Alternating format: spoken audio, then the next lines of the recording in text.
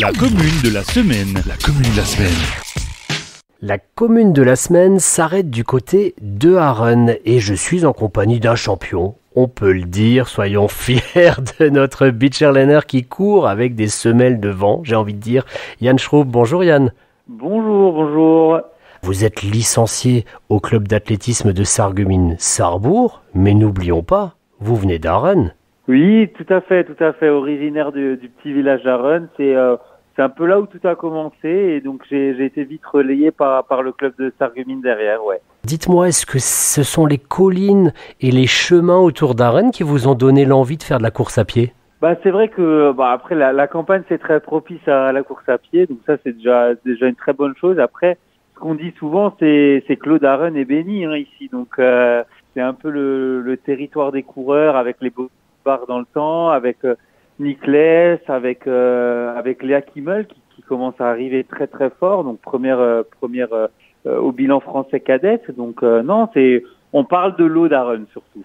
D'accord, l'eau miraculeuse. Après Lourdes, on a Aren, très bien. Bon, remarquez, Aren, ça, ça. ça vient d'Aqua, donc il doit y avoir quelque chose là-dedans, quoi.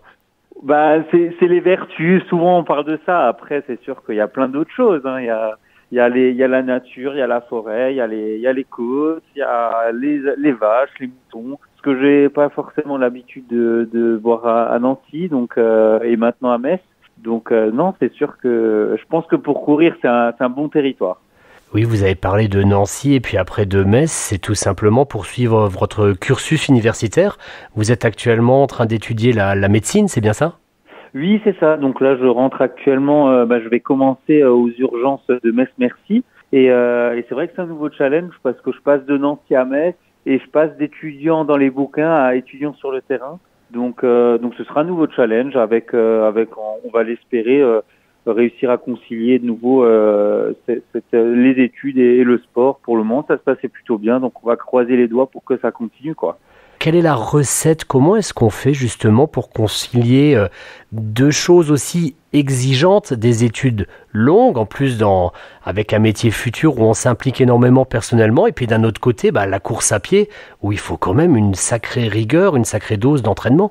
Il y je, pense à mon sens qu'il y a plein de choses. Après, il y a surtout l'envie parce que sans envie on fait rien. Donc euh, ça c'est la première chose. Il y a forcément avoir un, emploi du temps très carré parce qu'on peut vite se, se retrouver surbooké, euh, que ce soit en athlète ou que ce soit en, au niveau des cours. Mon entourage m'a bien aidé aussi, que ce soit mon coach, euh, euh mes coachs d'athlète ou ma famille au niveau des, des cours et, euh, et de, des études. Et puis et puis après voilà, c'est savoir c'est savoir dire non à certaines choses pour faire des, sacrifices et réussir au mieux euh, avant tout les études, hein, avant tout les études. Et comme je donnais tout pour mes études, euh, derrière j'avais du temps pour m'entraîner, j'étais plus serein. Et quand on est serein, quand on a des arrières qui sont plus ou moins protégées, euh, je pense que je pense que ça peut marcher. Donc euh, voilà, il faut juste avoir la passion et l'envie, quoi. Pour expliquer aux auditeurs un petit peu euh, dans quel domaine vous excellez, bah, j'ai envie de dire vous êtes polyvalent, vous faites de la piste, vous faites du cross, vous avez gagné en 2020 le semi-marathon de Nancy, donc également course sur route. Est-ce qu'il y a euh, une de ces trois disciplines quand même euh, que vous préférez ou que vous allez peut-être privilégier dans les, dans les années à venir? Alors moi j'ai la chance de faire de la course à pied. La course à pied ça peut être très très varié. Si on parle de distance, ça peut aller du 1000 mètres au, euh, au semi-marathon pour le moment pour moi, donc euh, ça varie vraiment énormément. Et qui dit course à pied dit variation de terrain aussi. Donc euh, c'est vrai qu'on peut courir dans la boue, on peut courir dans l'herbe, on peut courir sur la route, on peut courir sur la piste, on peut courir en côte, on peut courir dans la forêt, enfin on peut courir vraiment partout. Donc ça c'est vraiment génial parce que chaque entraînement est différent, chaque course est différente et on voit toujours quelque chose de nouveau et on voit toujours des challenges nouveaux. Et, c'est vrai que moi là, j'adore les crosses. Donc on va espérer que ça ce soit une, discipline olympique dans, le futur, peut-être, je l'espère pour Paris 2024.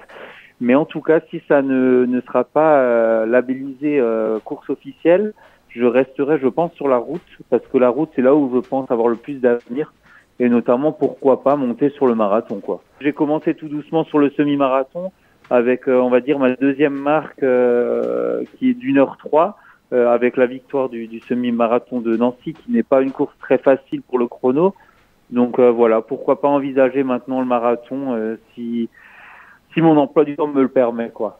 C'est bien, vous dites tout doucement, vous êtes modeste parce que le deuxième c'était quand même le champion de France de cross, donc il y avait quand même de la de l'adversité.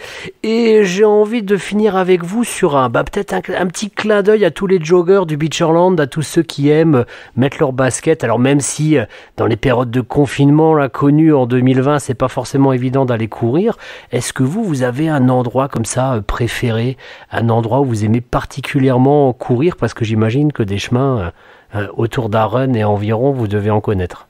J'ai pas forcément de parcours privilégiés. C'est vrai que j'ai des parcours que je fais plus ou moins souvent, euh, notamment sur Arun. J'ai mon parcours dans la forêt euh, en passant par les éoliennes. Après, des fois, je vais avec Christophe Klein sur Orbach, donc je connais pas mal les chemins sur Orbach aussi.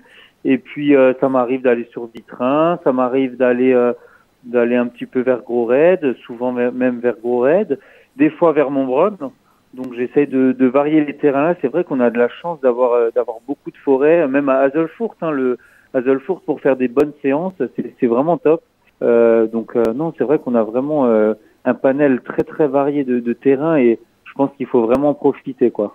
Ok, mais je dis aux auditeurs, si vous voyez Yann et Christophe courir, il faudra prendre le VTT si vous avez envie de faire une séance avec eux, sinon vous n'arriverez pas à suivre. Il n'y a pas de souci, on s'adaptera, on, attendra tout le monde, il n'y a pas de problème.